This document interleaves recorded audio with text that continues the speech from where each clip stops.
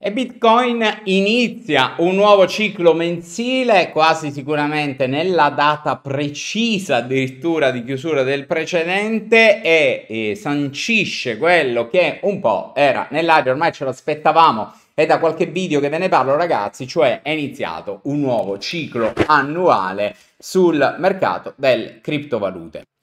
E dopo un po' di tempo, dopo aver visto quello che era, diciamo, tre mesi di stand by, tre mesi di fase ribassista, ritorna un po' il eh, sereno. Siamo arrivati a livelli di prezzo eh, proprio oggi che sono considerevoli nella zona cosiddetta di trappola, quella che vi parlavo eh, in un precedente video. Eh, andiamo a fare oggi il punto della situazione dove siamo da un punto di vista ciclico sui mercati cripto, Bitcoin, quali indicazioni sta dando di analisi tecnica, analisi ciclica, andiamo a vedere quello che è successo in questa settimana, andiamo a vedere anche ETH un po' sottoperformante rispetto al resto delle altre criptovalute, soprattutto ADA che ha fatto il boom boom ragazzi, ma l'avevamo messa nel video eh, dove vi parlavo delle top 5 per le prossime settimane. Ada era una di quelle insieme a Luna che aveva già fatto veramente i numeri, Ada ne ha fatti e sta continuando a fare eh, e poi vedremo. BNB con un trend lineare rialzista eh, quasi pilotato, lo andremo a vedere anche oggi ragazzi, è l'ultimo tocco di classe sulla dominanza e addirittura anche un grafico alla fine del video di spread tra SP 500 e Bitcoin per vedere da un punto di vista di relazione tra il più grande mercato eh, della borsa mondiale, ovviamente l'S&P 500 e il eh, re invece Bitcoin. Va bene ragazzi, allora come sempre prima di andare avanti vi chiedo di iscrivervi al canale se ancora non l'avete fatto, poi ehm, è arrivato anche il mio canale eh, Instagram ragazzi che ormai eh, conoscete moltissimi, si sono iscritti at trendingon.it. C'è stato un, uno spammer che in questi giorni mi ha clonato un canale, ragazzi. Mi clonano anche Instagram, vabbè. Eh, la vedo un pochettino un'esagerazione, diciamo, clonare anche Instagram. Comunque, vabbè, ragazzi, attenzione, mi ricordo che io non vi proporrò mai eh, nella mia vita di comprare cose attraverso eh, chat private, quindi ricordatevi questa cosa, c'è eh, se vi arriva un messaggio a nome finto di eh, Mauro Caini o Trading On, sono degli scammer, sono soggetti che clonano i canali, ragazzi, per vendervi delle truffe. Quindi ricordatevi che io personalmente non vi contatterò mai a livello di messaggi per vendervi qualcosa o farvi comprare una criptovaluta. Uh, ragazzi, mi raccomando queste cose, va bene sbagliare sul mercato, va bene fare trading e, e per prendere le batoste, va bene prendere gli errori, va bene tentare, rischiare con gli investimenti, non va bene essere truffati da gentaglia di questo tipo, che tra l'altro sono anche italiani ragazzi perché abbiamo raccolto una serie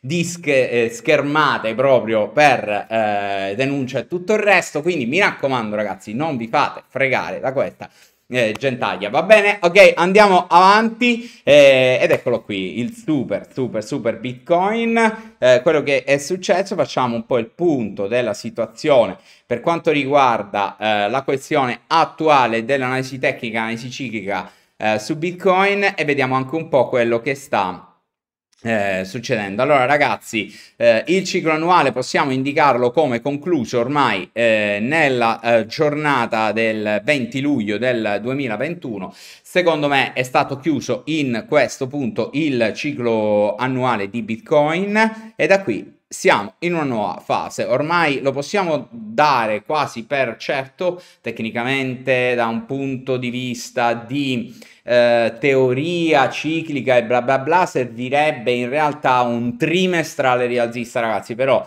Uh, come si fa a star dentro con quei tempi su mercati così veloci come quelli delle cripto? Quindi, uh, ok, si ci può sbagliare sicuramente, ragazzi, però al momento noi abbiamo bisogno di punti fissi e diciamo questa cosa. Poi, se dovessimo sbagliare, ri, insomma, rimoduliamo la questione poi in corso d'opera. Quindi, al momento sembra che eh, il ciclo annuale sia stato chiuso il 20 luglio. Da qui in poi è iniziato un nuovo ciclo mensile, eh, eravamo nel precedente mensile infatti eh, già di agosto che è stato molto rialzista vi faccio vedere anche la um, scusate ragazzi non so che cosa sia successo Ok, ci siamo ragazzi, scusate, Mac fa uh, le bizze eh, come sempre con 2000 impostazioni nella touch bar che io non riesco a usare benissimo. Allora, eh, range prezzo vi faccio vedere l'incremento, l'incremento che è stato notevole di questo ciclo mensile che è arrivato a più 62% addirittura dai minimi del ciclo annuale, poi ha chiuso nella giornata del 19 intorno a un più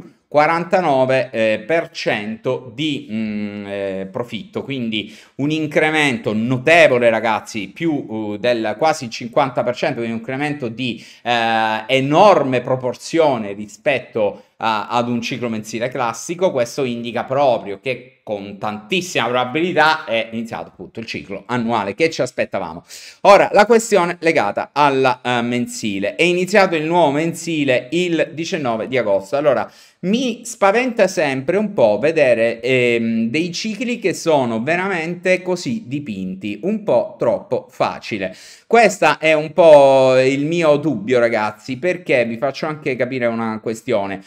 Mm, è vero che insomma la struttura ciclica di 30 giorni così divisa eh, praticamente un ciclo vedete eh, a metà che è fatto così e poi l'altra metà che è fatto così chiude con dei minimi inferiori ai precedenti mm, qui eh, praticamente fa un minimo a 44.000 43.992 prezzi Bitfinex chiude, riparte a bomba, arriva a toccare i, i 50, la resistenza dei 50k. Eh, allora, eh, ciclo mensile chiuso, sì, però è veramente dipinto, ragazzi. Sembra quasi eh, insomma una figura per studiare analisi ciclica. Eh, va bene, non va bene? Sì, eh, va benissimo perché sono passati 30 giorni ogni tanto perché il mercato può fare anche cose semplici, non è detto che debba, eh, diciamo, a forza eh, andare a costruire poi cose che sono magari complesse e, e, insomma è piene di, di, di, manipolazioni. Ogni tanto insomma ci sta anche la eh, semplicità mh, di,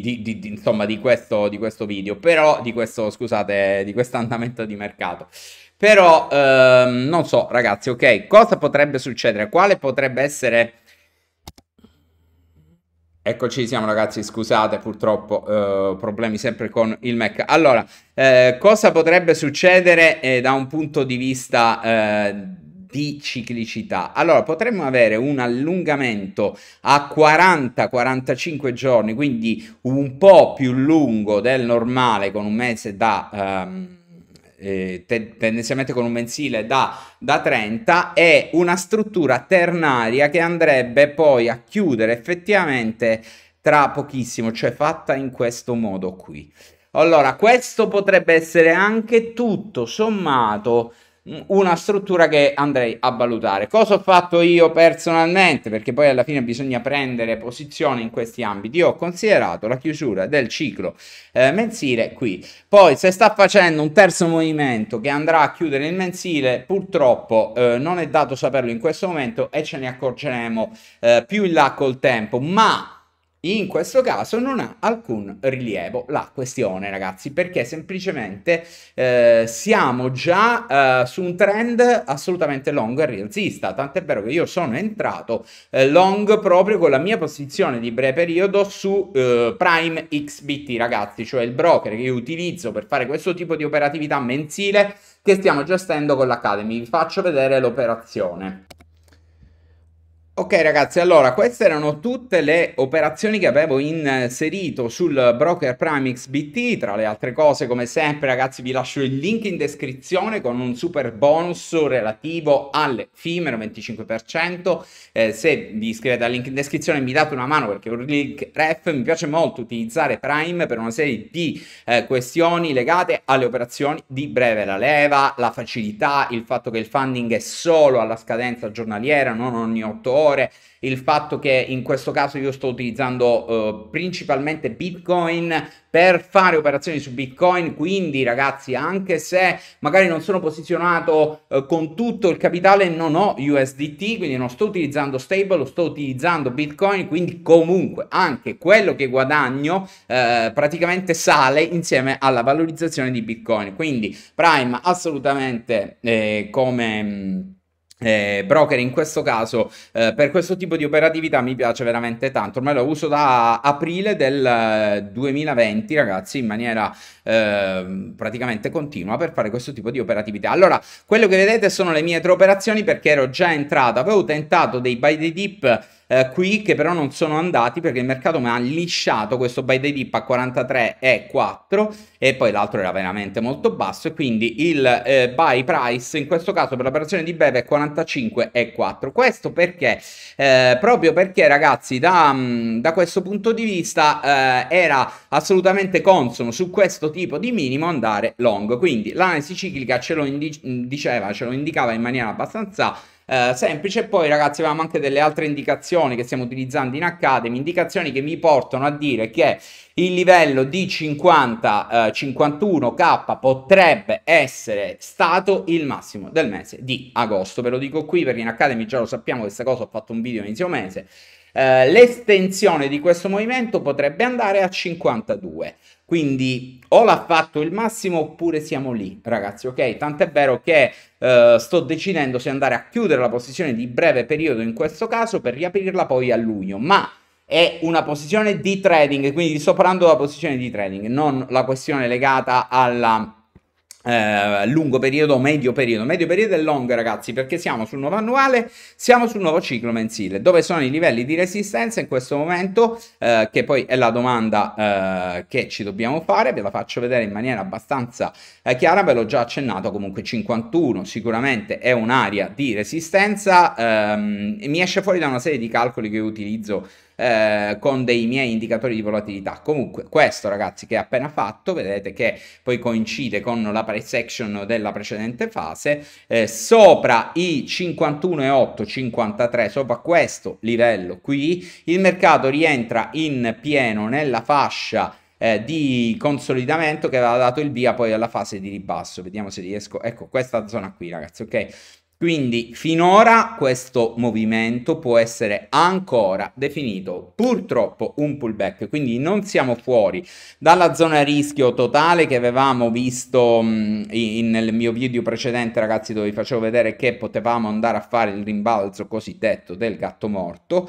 Ve lo faccio capire da questa zona abbiamo 1, 2, 3, 4, 5, questa sarebbe la sesta settimana di fila verde per quanto riguarda eh, questo mercato, quindi potremmo in effetti avere eh, un po' di rischiosità in questa fase. Allora, che il mercato andasse su questa linea rossa e questa zona iniziasse a stentare è normale perché è un pullback ragazzi, però proprio per questa situazione qui abbiamo ancora la questione in sospeso del cosiddetto ABC. Ok, questo ancora non è eh, una cosa che possiamo eliminare. Quindi siamo long, siamo long assolutamente. L'attesa era quella di un nuovo ciclo annuale, quindi eh, da un certo punto di vista possiamo aspettarci una nuovi massimi anche di Bitcoin, ragazzi, l'ho detto migliaia di volte, però neanche andare poi coi piedi, insomma, così eh, di piombo, così sicuri perché ancora non siamo fuori totalmente totalmente la zona pericolo, fermo restando che io minim- non, non, mi sognerei minimamente, insomma ragazzi, di andare a fare uno short Bitcoin in questo momento, ci mancherebbe, anche perché eh, tutti i miei indicatori, anche i trading system che utilizziamo in Academy per la copertura, per lo short di copertura, sono usciti a 30 e passa mila ragazzi, quindi sono tutti long, c'è un full long totale su hold eh, la parte di medio stenta per una serie di, di, questioni legate a uno dei miei sistemi, ma insomma non vi tedio con queste cose perché sono un po' uh, tecniche, quindi diciamo non ha senso. Però in questo momento la fase di, eh, dei mercati cripto resta positiva. Uh, al di là della questione del ciclo annu- um, mensile, se è stato chiuso il 19 come probabilmente è stato, oppure deve andare a fare un'altra gambettina e poi ripartire, ma non c'è nessuna inversione di trend neanche nel breve, tutto è long ragazzi, si resta assolutamente long. Scoglio su Bitcoin 51, primo livello, 52 è qualcosa, secondo livello. Sopra 53 si rientra nell'area di congestione che può portare ai massimi storici con grande tranquillità. Andiamo a vedere velocemente Ethereum, poi vi faccio vedere l'ultimo grafico che invece ci serve per capire se effettivamente eh, la probabilità di fare nuovi massimi può essere eh, tenuta in considerazione con uh, una buona, diciamo, ecco, probabilità, ecco, diciamo così, ragazzi, ok? Quindi andiamo velocemente a vedere TH eh, altrimenti questi video, video, vengono veramente infiniti ragazzi. Intanto metto gli occhiali che non vedo più niente. Allora ragazzi vedete ETH la questione legata ad ETH è, è andato a confluire nella struttura di scadenza del ciclo mensile alla perfezione. Ne abbiamo parlato ragazzi. Allora questo mese insomma diciamo abbiamo fatto i botti perché abbiamo preso praticamente come un orologio svizzero i minimi di ripartenza le chiusure cicliche insomma Ogni tanto capita, ogni tanto capita ragazzi, quando si fanno delle ottime analisi, ogni tanto capita anche di essere veramente eh, il mago Silvan, ok? Può succedere ragazzi, non è eh, la consuetudine, però quando si fa un buon lavoro si ci sta dentro sempre, poi ogni tanto capita che anche il mercato ci ricompensa con una perfezione come quella che abbiamo avuto questo mese, veramente. Allora, come vedete questa era l'area che avevo indicato di buy di ETH, insomma anche qui i famosi 3.000 dollari eh, hanno dato il seguito a questo rialzo del 10%, ma ETH è sul livello di resistenza di 3,4 che non ha ancora sfondato. Però se rompe questo livello, ragazzi, corrisponde ai 53 di Bitcoin, quindi in realtà è Bitcoin che si sta livellando a ETH, non è che ETH abbia avuto um, una perdita di forza rispetto a Bitcoin e che era stato troppo forte precedentemente.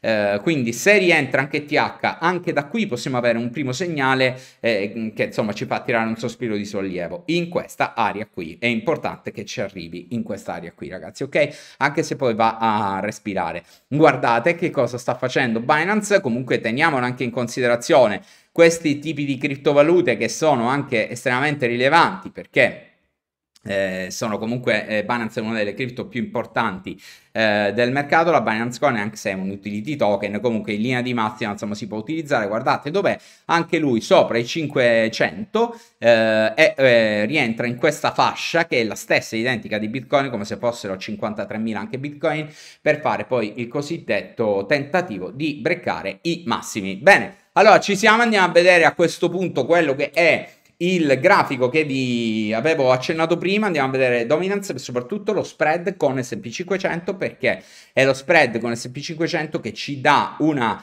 ehm, grandissima direzionalità eh, con quello che è, potrebbe essere la fase di, ehm, di Bitcoin per i prossimi eh, mesi. Allora vi faccio vedere questo che è la dominance ragazzi, poi lo spread in realtà è molto simile anche alla dominance per certi versi, ok, eh, in termini di indicazioni cicliche. Allora questa è la dominance Bitcoin, vi l'avevo già accennato, annuale ribassista dal eh, 31 di agosto 2020 sembrerebbe ancora in fase eh, di mm, metà, diciamo, quindi dovrebbe andare a concludersi verso fine anno. Questo significa tecnicamente che se l'annuale di, della dominance va a fare un minimo inferiore, cioè qui, questo tragitto, che sono grafici settimanali questi, spinge ancora la questione legata alle altcoin, quindi mini alt season, non potente come la precedente, ma c'è, probabilmente settoriale, probabilmente rivolta soprattutto su eh, le top 10 che dovrebbero rubare tantissima strada a Bitcoin in questa fase, spingere magari con un minimo eh, sotto il, eh, i 30-37, anche se non addirittura sotto il minimo storico della dominance che è sotto 35. Quindi questo grafico indica che il tentativo eh, di avere una nuova season potrebbe indicarci che eh, um, i, diciamo, la fase rialzista delle cripto potrebbe continuare. La stessa cosa l'abbiamo dallo spread con S&P 500 BTC.